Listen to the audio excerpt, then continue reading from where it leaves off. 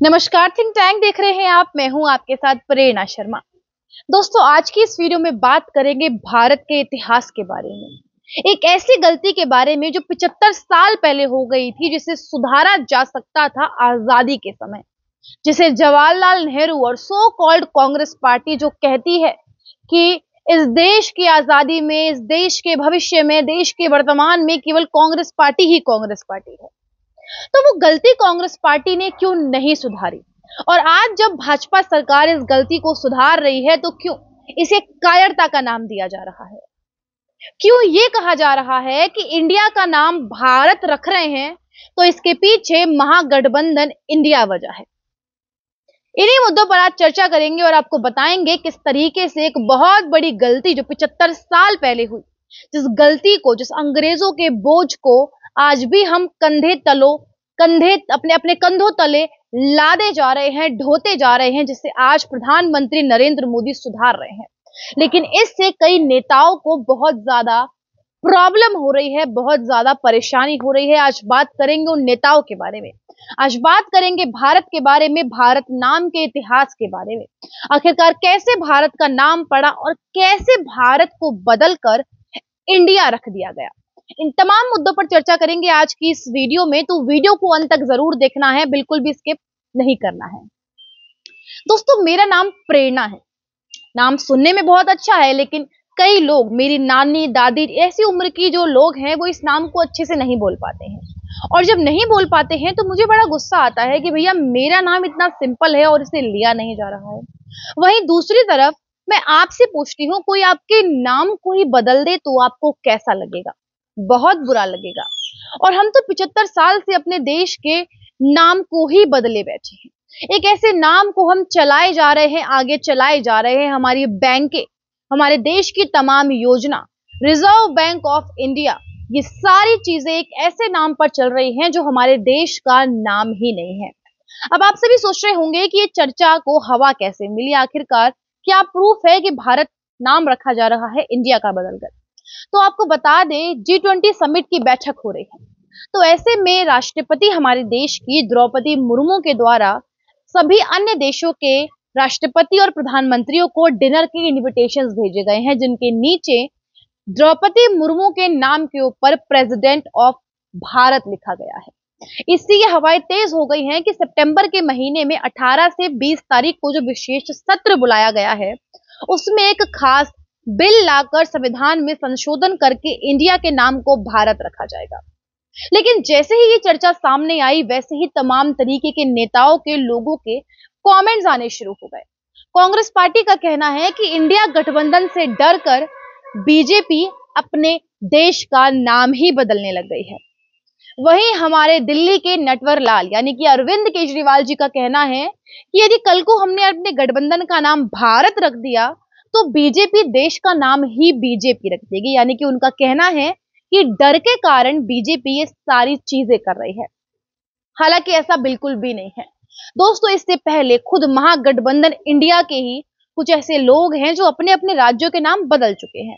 बात करें बॉम्बे की तो वो मुंबई हो चुका है। कलकत्ता की बात करें तो वह कोलकाता हो चुका है। मद्रास की बात करें तो चेन्नई हो चुका है। ऐसे तमाम तरीके के नाम हैं जो बदले जा चुके हैं। तो ऐसे में जब राज्यों के नाम बदले जा रहे हैं तो हमारा देश, जो हमारी पहचान है, उसका नाम क्यों वो नहीं हो सकता, जो उसका वास्तविक नाम है? हम एक ऐसे देश में रहते हैं, जहाँ पर हमारे भोजन से लेकर हमारे नृत्य तक, हमारी हर चीज़ का, हमारी औषधियों के पीछे एक ज्ञान है और एक विज्ञान है। तो क्या आपको क्या लगता है, भारत नाम ऐसे ही रख दिया होगा? भारत नाम के पीछे कोई इतिहास नहीं होगा? दोस्तों, सबसे पहले की बात करें तो हमारे देश के तमाम ग्रंथों में, हिंदुत्व के तमाम ग्रंथों में, सनातन धर्म के ग्रंथों में इस बात का ज़िक्र है कि हमारे देश का नाम भारत था। हालाँकि आपको बता दें, जब बाहर से तुर्की और ईरानी लोगों ने भारत में आगमन शुरू किया तो वह सिंधु घाटी से भारत के अंदर आए, जिसे वह हिंदू बोलने लगे और इस हिंदू का हिंदुस्तान बना दिया। वहीं बात करें अंग्रेज़ों की, जब अंग्रेज़ों ने भारत पर कब्जा किया तो वह सिंधु घाटी से भारत में एंटर हुए। तब उन्हें हिंदुस्तान बोलने में प्रॉब्लम होती थी तो उन्होंने भारत को इंदुस वैली घाटी कर दिया। इंदुस वैली के नाम से भारत जाने जाने लगा और वही इंदुस आगे चलकर इंडिया हो गया। यानी कि भारत का पूरा नाम बदल दिया, पूरा नक्शा बदल दिया और वह इंडिया हो गया। है कि समुद्र के उत्तर से लेकर हिमालय के दक्षिण तक भारत की सीमाएँ फैली गई हैं।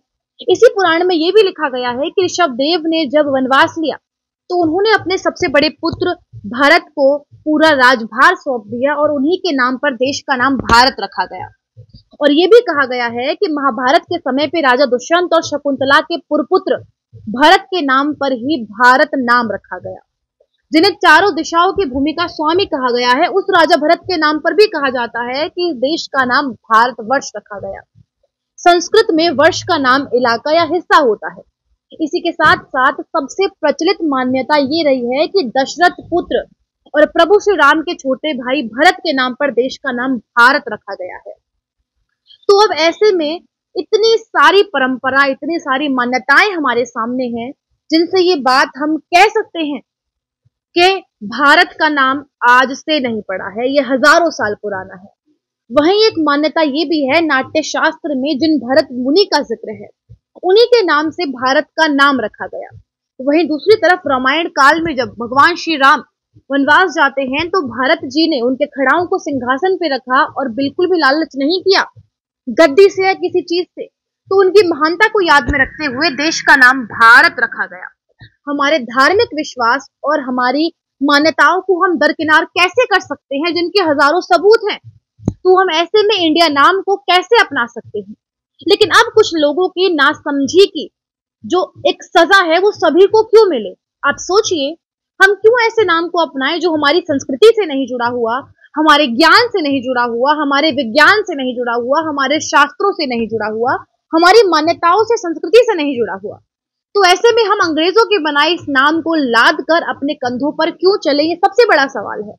और जिन राजनीतिक लोगों को प्रॉब्लम हो रही है वहीं दूसरी तरफ़ कुछ लोगों को आज खुशी भी हो रही है। और वहीं आम व्यक्तियों की बात करें तो उनकी खुशी का तो कोई ठिकाना भी नहीं होगा, जिनके ऊपर कोई बाउंडेशन ही नहीं है अपनी फीलिंग्स को एक्सप्रेस करने की। दोस्तों, आप सोचिए, दूसरे देशों में हमारी पहचान आज भारत नहीं, बल्कि इंडिया है।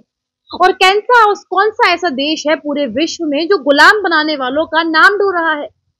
कौन सा ऐसा देश है जिसके नाम का, उसकी संस्कृति से कोई लेना देना ही नहीं है? हमारी संगीत और हमारी नृत्य कला हमारे खान पान तक की अपनी अलग पहचान है। लेकिन हम इतने सालों से एक उधार का नाम ढो रहे हैं। और यही एक बहुत बड़ी वजह है हमारे संविधान में से इंडिया नाम हटाने की बात होती रही है। जो कांग्रेस पार्टी आज इल्ज़ाम लगा रही है कि इंडिया गठबंधन से घबरा कर बीजेपी नाम बदल रही है। उसी कांग्रेस के पूर्व सांसद शांताराम नायक 2012 में बिल लाकर इंडिया नाम बदलने की बात कर चुके हैं। सबसे पॉपुलर स्पिरिचुअल लीडर सदगुरु भी इंडिया का नाम बदलकर भारत रखने की बात कर चुके हैं। और कांग्रेस पार्टी को तो ये बोलने का बिल्कुल भी हक नहीं है। बीजेपी सांसद नरस, नरेश बंसल भी देश का नाम इंडिया से बदलकर भारत रखने की मांग कर चुके हैं।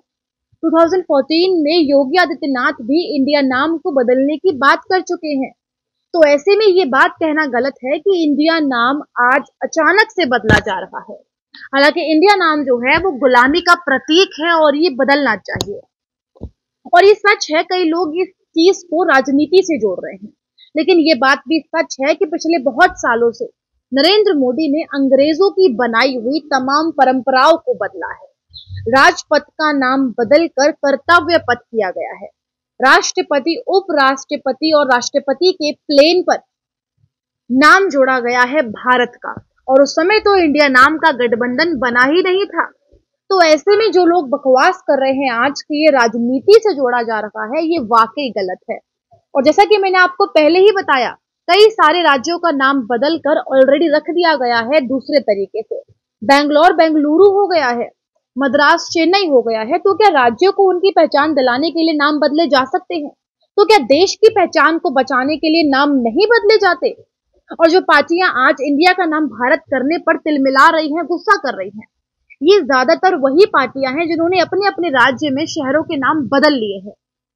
तो अब ऐसे में ये जो नाम बदलने का फैसला किया गया है, अमिताभ बच्चन ने इस फैसले का भी वेलकम किया है। तो दोस्तों, ये जो भारत नाम है, ये आज का नहीं है, इसका इतिहास सदियों पुराना है और जो लोग इसका विरोध कर रहे हैं, वो विरोध करते रह जाएँगे क्योंकि नरेंद्र मोदी के सानिध्य में ऐसा पहली बार नहीं हुआ है।